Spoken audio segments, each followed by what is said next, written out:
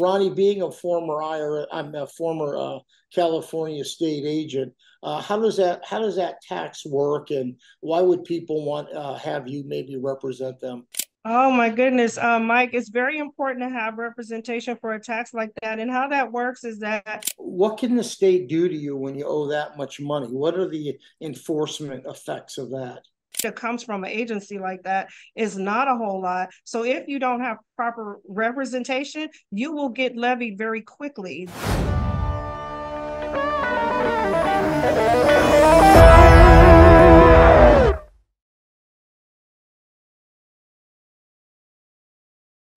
Hi, my name is Mike Sullivan. I'm a former IRS agent and teaching instructor with IRS. This is Ronnie Hines, my partner in California. The two of us to team up to handle all sorts of problems with the state of California and uh, IRS. Um, I worked at IRS for a decade. I've been in private practice for four decades. Ronnie actually is a two timer. She worked for the state of California for eight years and IRS uh, seven years. So we're here kind of 12 years 12 years you worked there 12 years 12 years. What did you kill what did you kill a cat and they went ahead and they gave you a quiz? Anyway we're talking today about the vehicle sailors uh, dealers tax. You know this is a huge ticket. You know i'm going to tell you in most states uh, the other 49 states people kind of do whatever they want. California, they want to grab every single nickel from you. So, Ronnie, being a former IRS, I'm a former uh, California state agent. Uh, how does that how does that tax work, and why would people want uh, have you maybe represent them?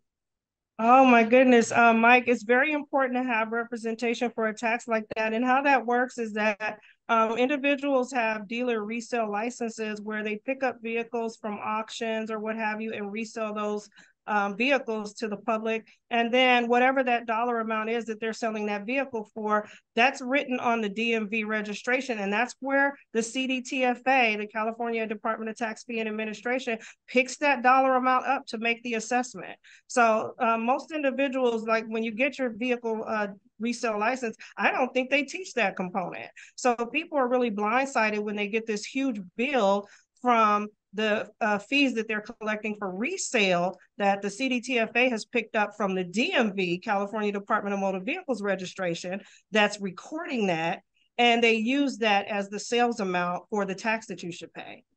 So that assessment, that that those numbers have to be accurate. How you report that to the DMV has to be done in a way that keeps you um, just knowing what you should pay, and it should be reconciled quarterly and paid quarterly. But individuals uh, maybe don't are not educated about that component, so when they get that bill, they're completely blindsided, and that's where representation becomes very important because it's always a large dollar amount.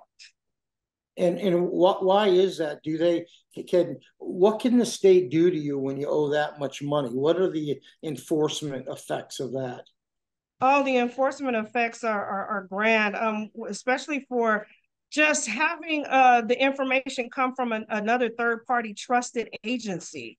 So the how much wiggle room you actually have is just, you know, when the data comes from an agency like that is not a whole lot. So if you don't have proper representation, you will get levied very quickly. They consider those assessments more valid and concrete. So you will get levied very quickly. You will get garnished very quickly. They will put hold on your business bank accounts. They have all of your information from using that third party source, which is DMV anyway, if you need any help or want to talk to Ronnie, you certainly can. Just hit the information below. We've been doing this for a long, long time. Um, like I said, I've been actually in practice since uh, 1983. So you got the IRS and the state of California uh, covered. By the way, if you want to ask any questions to us, you can leave comments in uh, in, in, the section, and uh, we're just welcome to call us for a free consultation. Give me a, a subscription; that really helps us on YouTube. It helps us kind of move up a little. So we love to give you the information you need. Thank you so much for listening. Don't forget the subscription. Thank you.